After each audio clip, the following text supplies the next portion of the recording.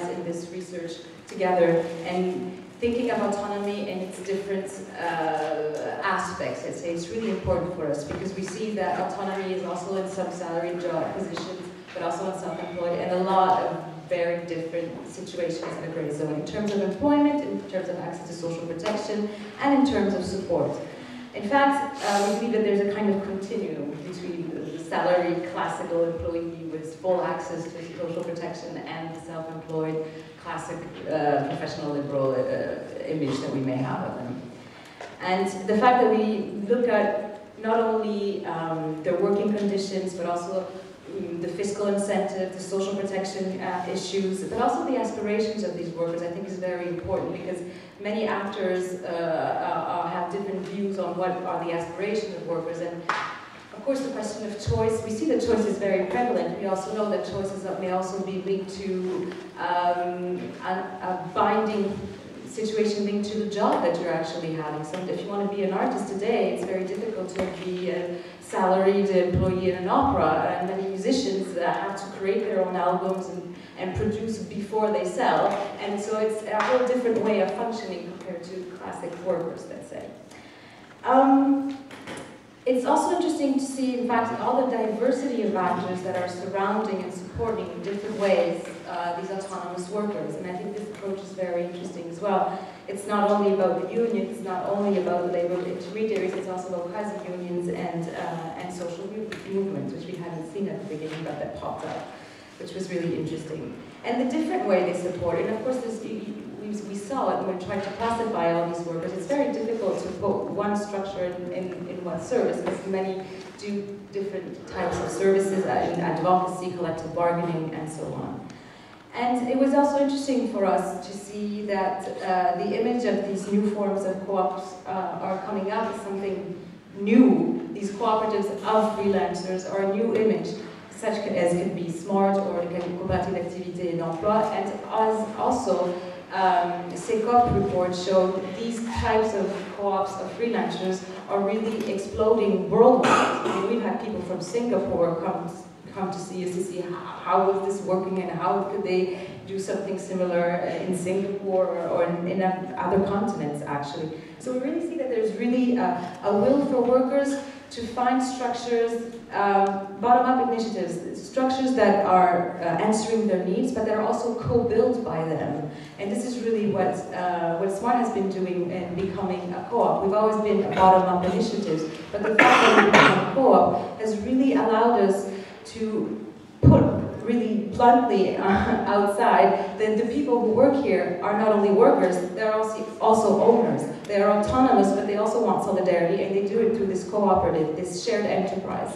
And SMART is one of those models. There are other models as well. And it's booming, and I think it really should take our attention as to also how workers want to be represented and want to take part, not only be represented by others, but also take an active part and role in the way they structure their way of working and the way they self-organize. I think that's really important. And also that autonomy doesn't mean I want to be alone. It means I have skills that I want to be able to develop, but I also want to be able to work in teams, and I also want solidarity with other workers, and I want to be in contact with these other workers a lot of people think that they are in competition. It's true, they are in competition, but they also learn a lot from exchanging with one another. So there's also a lot of cooperation, which is not much there in the literature, and I think it's something we should be digging into more.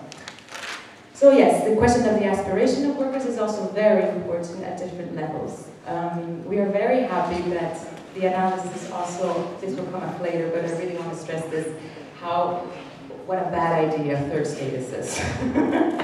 a bad idea is this third status because these workers are juggling with different jobs and they're also juggling with different social statuses. So just adding a new one is not going to help, uh, really. it's just going to make things more complicated, so this is great news. As to the need for cooperation and coalition building between different types of partners, this is crucial. It really is. The thing is, it's not that easy, especially when we're talking about these types of workers. Now we see a big improvement of dialogue with unions and the uh, unions opening up to these free, to these freelancers and autonomous workers, which is a great thing. But there is still kind of often, there is still this vision of but these should be salaried workers? Or how can we apply rules that we make for salaried workers to these workers? And, and you, you, we can't just transpose them to these workers because they have specificities, but we can think in terms of um, uh, functional equivalence. I think that is a very good and interesting way to, to do it. And it can be done through different ways. Uh, some by regulations, some through uh, structures um, that can provide some specific support. And on the other side, with the employers, it's sometimes difficult also because often what you hear from uh, employers organizations that are more with uh, high income uh, IT or high level professional, uh, high level income professionals, which are often classic uh, liberal professions, but not only, you have this vision of, oh, but if they can't make an earning, then they should just get a job. But there are not that many jobs out there either. So it's, it's a bit complex. And structures like us, well, we're trying to find solution the best as possible for these workers, but we're also struggling with a legislation that is not meant for us. And, we're, we're, we know that we're kind of struggling to fit into the legislation to make to do things well, but it's not easy when this, the problems we're addressed are not addressed by the legislation. So I think it's really important that all these different organizations that we've been talking about all day long um, labor market intermediaries, quasi-unions, unions, new social movement, new forms of co-ops work together and try to understand, just like the union did back in the, at the beginning of industrial times, what are the issues, what are the solutions that we can provide, and just forget initially what we think is good and just look at their situation and try to find solutions together that are new. And if we can find things that are adaptable from our scheme that is already there, that's great. But we have to be very inventive for many things if we want these workers to be truly protected, truly uh, recognized, and also to have a truly inclusive social uh, protection model and labor market. And I think that is the crucial question, because otherwise we're just, as you said too, we're just creating this segmentation of people who are in or out, and it's it just creates a situation in which we are now. Lower income, people are mad, they vote uh, the extreme right parties, and then there's no more solidarity there. So it's really very urgent that we start really talking together and really trying to construct things together constructively instead of just looking at what the other is doing wrong. And this is the main message I would like to have today.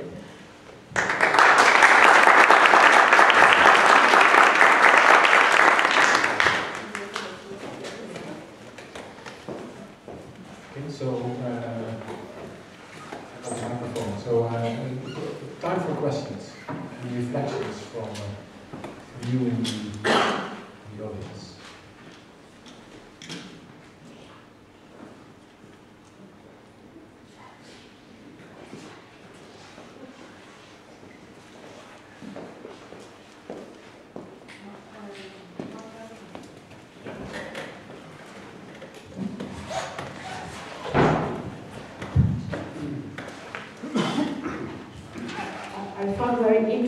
All your comments the beautiful presentation of Anna, who summarized very well a very complex uh, material and very huge material that we pick up during the two years of the research. And uh, I would like to, to, to, focus on the concept of legitimacy of Valeria, um, the, the, the, three dimension of Hyman uh, model in a sense, and just to just understand from her, it's a question to you. Um, you said legitimacy is one of the, of the three important dimensions and uh, is a precondition of representative. So in the yesterday afternoon discussion, we, we discussed about the about the uh, about the fact how to measure the legitimacy in the in the in the uh, social dialogue, and we talked about yesterday, uh, which is the, the, the, the bind of this, the confine of this uh, participation, which are entitled to participate, and which is the, the, the boundary between co collective bargaining also in, these terms of, of legitimacy. So um, this is probably one very important question because we have we up a lot of examples that Anna showed us in the but one question, fundamental question is uh, how we measure the legitimacy of these new uh, actors, new players in the, in the social dialogue uh, discourse. So if you can add something on this uh, topic as an, expert of, uh, of the industrial relations system? Uh, well, it is actually, yeah, it is a complex, I think, question. Um, now, if we look literally at the uh, way how legitimacy is, is, conceived, I think, well, measuring uh, from a statistical point of view, um, well, you need to, you might think to create indicators in that kind of respect, but the, the, most important aspect to look at is, in fact, what these kind of uh, uh actors, that they represent certain groups, what do they deliver for them? Yeah? Uh, but when then the question is, what is the quality of these uh, delivered goods? Yeah. So is first of all, are these delivered goods what the represented ask for? First of all, question, and the second is the quality. And I think that if it might be probably uh, simple to say uh, okay, what do representatives do they want is getting a bit more difficult, I guess, when you are digging into the quality issue. Uh, because in fact it's very, you know, individual based. But I think that is the challenge actually, uh, because, uh, I mean, the major point is that this is in fact another thing that, by the way, Daniel recalls uh, in a different way or from a different perspective, but I think this is much more actual today for self-employed. I mean, these are people, individual people. But then the question is that when you have to represent and you have to actually be legitimate, you have, you, first of all, you need to be a social actor, you need to be, and you need to have an institutional role in society, in other words. That's why unions were actually claiming legitimacy eh, uh, uh, for subordinated workers. So the question would be, for the labor market intermediates, how do we conceive them? Are they institutions, yes or no, and why? Well, probably yes. We talk about new institutions or new actors or industrial agents, but we have never actually also conceptualized that properly, yeah? I mean, society is moving, but yeah, we still, so that's one question. Um, but going back to what I was saying before, so uh, uh, again, I mean, if you get into this kind of um, uh, uh, um, element here, so you have from one side individualism and on the other side a collectivism, and you need to construct a certain continuum there. In order to deliver, to be legitimate, to represent, you need to represent a collectivity. I mean, you need to represent people that they want the same thing, so that you can deliver to them the same thing. Then on the quality side, exactly, it can, yeah, can be very helpful. Can be very helpful because you could achieve the institutional side at the same time you are uh, kind of linking with, in fact, more services or mutualistic perspective, for example, of smart, rather than of other of these uh, new actors.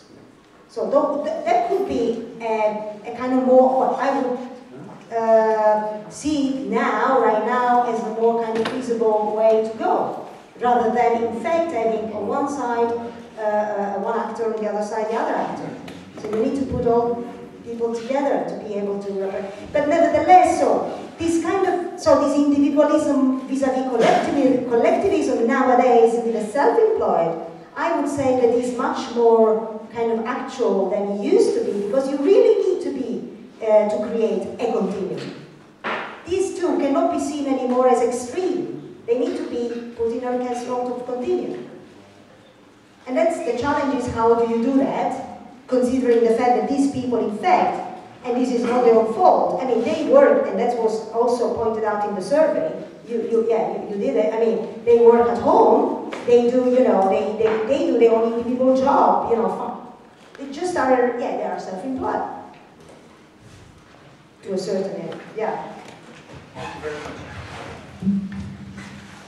Can I just very add last. some- just add something about this question because we, we were working on, on SMART, as, as uh, Sarah knows, uh, in a paper published in the British Journal of Industrial Relations, and we were thinking about how new actors entering uh, the, the labor market field is building legitimacy. And we, we use the institutionalist approach coming from Suchman, which is very helpful to, to, to answer this kind of question.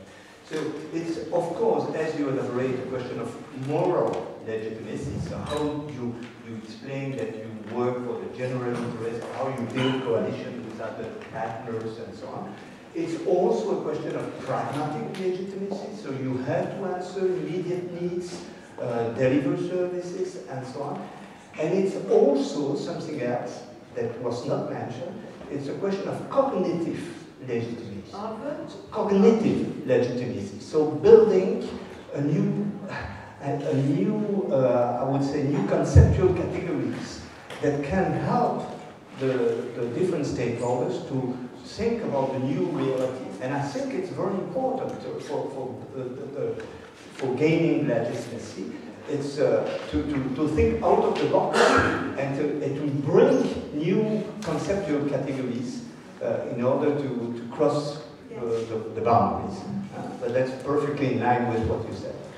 No, but sorry, no, I want just to link to what you said now, because I think it's very important. I, I also do think that in fact these kind of strategies or, you know, uh, models of representation, whatever you want to call it, I mean, we need to in fact now more than before, but nevertheless, I mean, also before units were actually going across them, uh, not seeing them as singles, but really as a, a, com a complex, use the word complexity, yeah? you need to really bring everything together. So being a service provider, but at the same time, don't forget about that you have to mobilize your members. That's another important thing, which was past, well, is part, important part of the past the subordinated workers, is part of the autonomy and the independence. I mean, if you don't, if you don't agree, you go on strike. Now the question is, how do we do with this particular group? And to what extent, in fact, new actors uh, will be able to put these people, if they don't like what they are actually getting, we go you know, we go on strike. So that's why coalition building is, I think, again, a, a very nice yeah, solution, well, yeah, solution or respective trajectory. Yeah. Thank you very much. I think we have to close yes. this, this, part of the session. I think it's very important. So uh, we talked about social dialogue.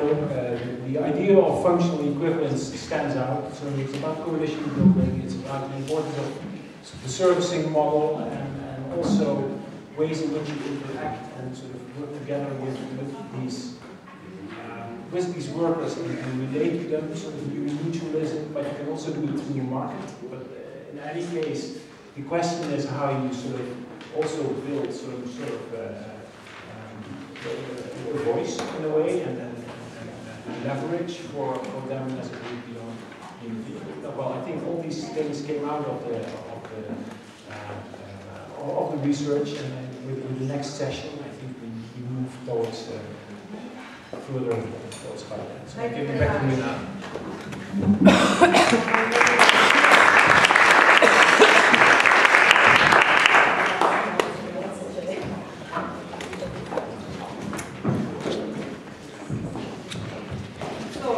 presentation, next section, uh, I devoted to Manuela Samek, one of the partners of, the, of this project from Istituto per la Ricerca Sociale, IRS, um, and the title is uh, The Good Of uh, Collective Representation and the Policy Issues Emerging from Our Project. So it's a, a challenging uh, presentation and we, she worked a lot on the conclusion and the principal uh, messages we, we, want to transmit to you and uh, relevant practices and policy, ah, you keep policy recommendation at the end?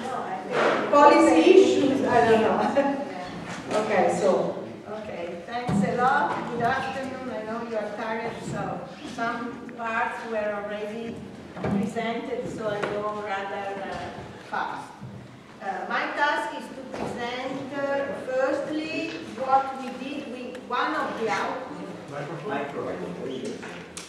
yeah, can you hear? Yeah. One of the output of this uh, complex research project was to produce a catalog of practices. So uh, what we did was to select a number of practices among the 29 cases that were described uh, before collected in the nine countries that were uh, involved in our research. They were collected by country experts and so on. Uh, how do, well, we, we do not call them anymore good practices because there were a lot of very interesting good practices among those collected. We just selected uh, a number of so-called representative practices of what is being done by these different organizations, both traditional ones, unions, and uh, new organizations, quasi unions, LMIs, cooperatives, and so on. And uh, the, the criteria in order to select these uh, practices was to uh, identify examples promoting new, innovative, and uh, effective actions with high coverage of IPROS, with high political visibility, and with influence on policy decision, especially through coalition building. Uh, also, practices showing new forms of promoting the mobilization of workers and the active participation of workers. This was